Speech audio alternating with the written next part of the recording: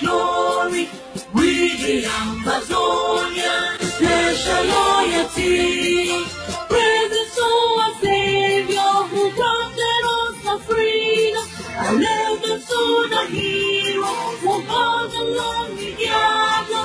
Glory to glory, we rise and never to fall. Here in our nation, glory with us the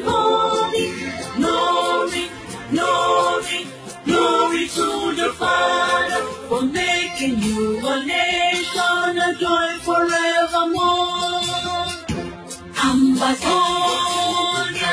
land of freedom, you shall live in plenty in our need.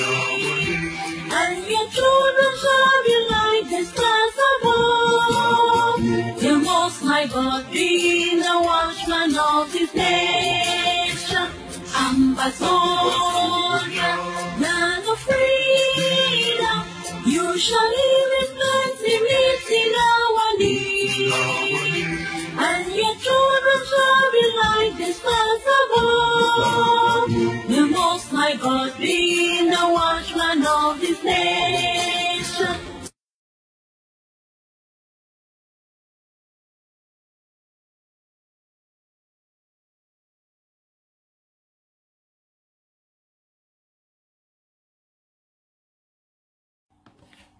My dear Ambazonians, I salute you all. Our revolution suffered great heat last January with the abduction of our leaders, including yours truly at Nera Hotel in Abuja, Nigeria. This horrific incident had a great impact on each and every one of us and forever changed and emboldened our quest for the restoration of our independence as Southern Cameroonians. Though it may take a while for me to completely recover from what I went through and what the other leaders still in captivity are currently going through till date, my resolve for our freedom is unshaken. I can assure you that our leaders, though in captivity, will never betray their people or give up on our quest for full and complete independence. After my release, I vowed that I will not attempt to move an inch out of Nigeria until the whereabouts of our leaders was very certain. In addition to them having full access to lawyers and their families. Our leaders now have, now have access to their lawyers and their family members. Whatever I say now can be collaborated by what our leaders have told their family members and their lawyers as to what happened leading up to our arrest. Ambazonians and family members of our detained leaders in the last few months have been drawn into the social media confidential sources and fed, fed with all sorts of conspiracy theories as to what could have possibly happened and what would I played in making it happen. Many people have followed and believed in these theories, and some have crucified me in conclusion based on fictions and hypothetical facts. I have been in contact with the lawyers of our detained leaders and some of their family members. I share details of everything I know towards the finding of justice for our leaders. Yes, the conspiracy theories have been brought to my attention too.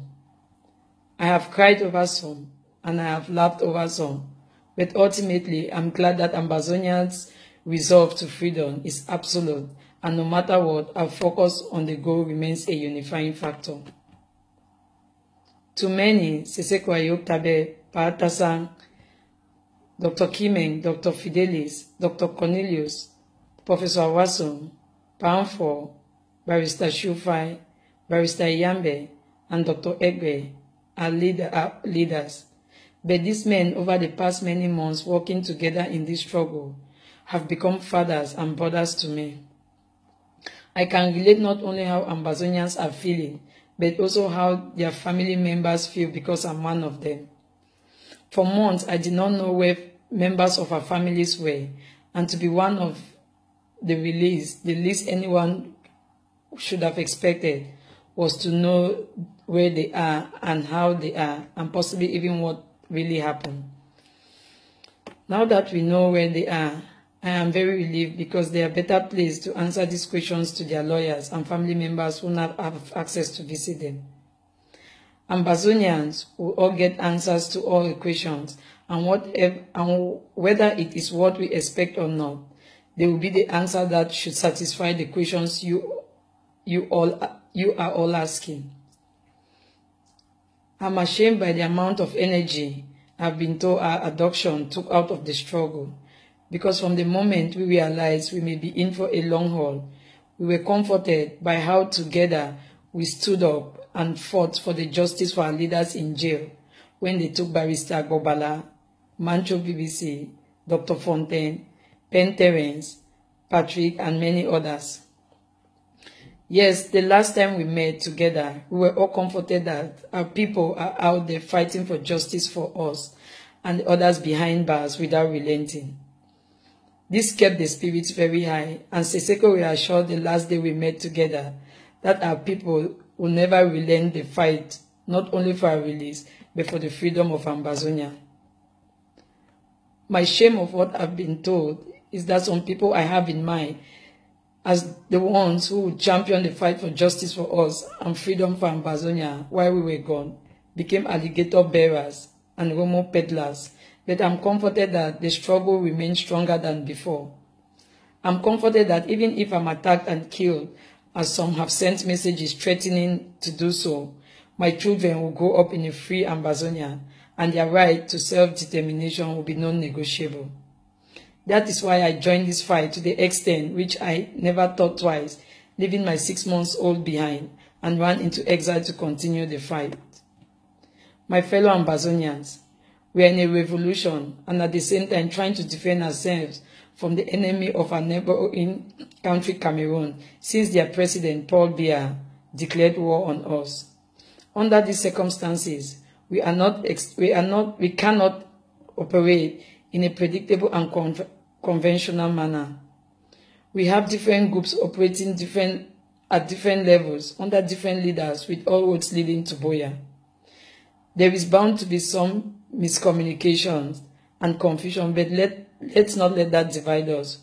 We are one people with one purpose and should stay focused on the prize, our God-given right to self-determination. I'm calling for better collaboration amongst the difference group under the leadership of the IG. We have to be united in our strategy, operations, and purpose. Together we are stronger, and unity leads to progress. I'm calling on the international community and all people of goodwill not to turn a blind eye on the atrocities committed on the people of southern Cameroon by the Biya regime and its allies. I'm grateful to God that I'm alive to share my experiences, even though I do not have the strength to listen to my own experiences in the hands of our doctors. I'm making my commitment to the people of Ambazonia that I will continue to provide the legal teams any necessary information I may have that may lead to getting justice for our leaders and also details of our adoption, as I believe will at least be collaborated by testimonies of our leaders and their family members and lawyers. As I gain my strength, I will pick up my activism work gradually to ensure that enough attention that matters is brought to the case of our adopted leaders and the injustice they are going through so that justice can be served and they return home to their families and continue with the struggle to free our homeland.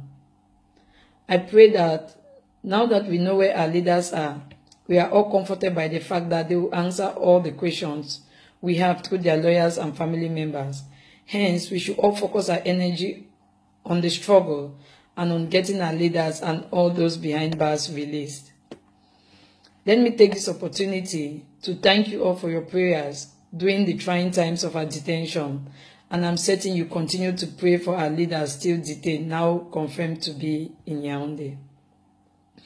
I'm humbled by the support you have shown me since my release, and I'm sure everyone has been eager to hear from me as to what happened leading up to our arrest. I thank you all for your patience with me.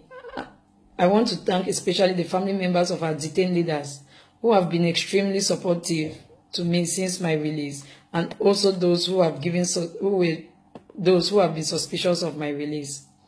I thank the acting president, Dr. Sako, former VP, Milton Taka, and the IG for the immense support they have shown me during these trying times too.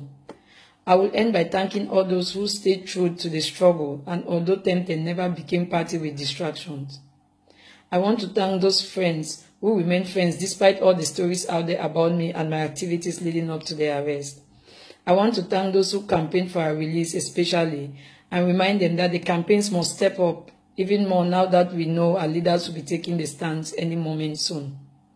I want to thank our brothers and sisters on Ground Zero who have decided that they will defend our women and children from the barbaric Biya regime.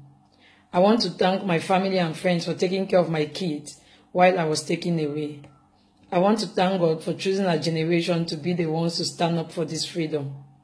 I promise the Yaoundé regime and all its allies that it is independence for Ambazonia or resistance forever. Short live the struggle. Long live Southern Cameroons. Long live the Federal Republic of Ambazonia.